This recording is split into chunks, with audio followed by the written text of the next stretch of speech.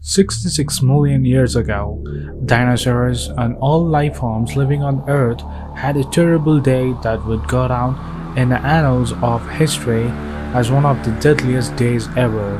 On that fatal day, a giant asteroid measuring between 10.6 kilometers to 80.9 kilometers across slammed into the oceans offshore of Yucatan Peninsula near Chicxulub in Mexico.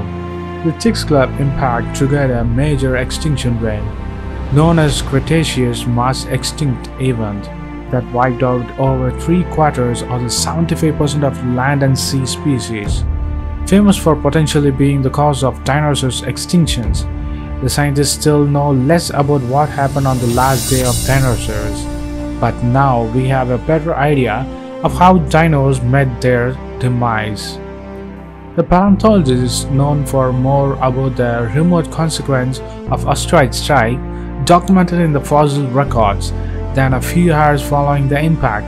However, an international team of more than two dozen scientists led by the researchers from the University of Texas at Austin has found hard evidence in the hundreds of feet of rocks that filled the impact crater within the first 24 hours after the impact.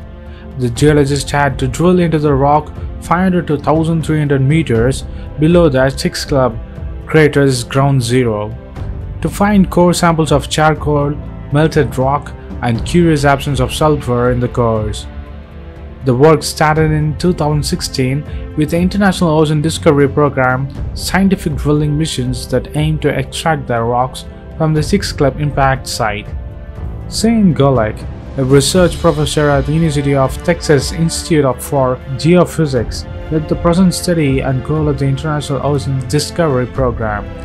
It's an expanded record of events that we were able to recover from within the ground zero, said Gulick. It tells us about the impact pressure from an eyewitness location. The impact after the mighty and the blinding fireball appeared in the sky triggered a chain of massive tsunamis and wildfires.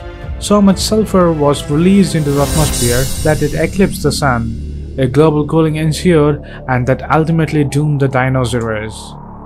This work also builds on the previous research effort to call it by the UT's Jackson School of Geoscience describing the crater's formations and how life recovered rapidly at the impact site. If it's often uh, consolations, the last day of the dinosaurs may have been a bit shorter than today's 24 hours day, a few hours shorter. That's because in addition to the moon's action, the earth was still tuning its spinning velocity during the dinosaurs age in Mesozoic era, from 250 million to 65 million years ago.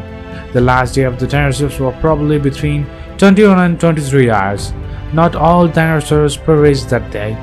Although they all died within few months after the strike, the lost dinos world was dark and cold with food getting more and more scarce. All that said, maybe humans couldn't even have had the chance of our eyes if it wasn't for this asteroid impact. After the dinosaurs were out of picture, it was time for mammals and the flowering plants to reign over the earth.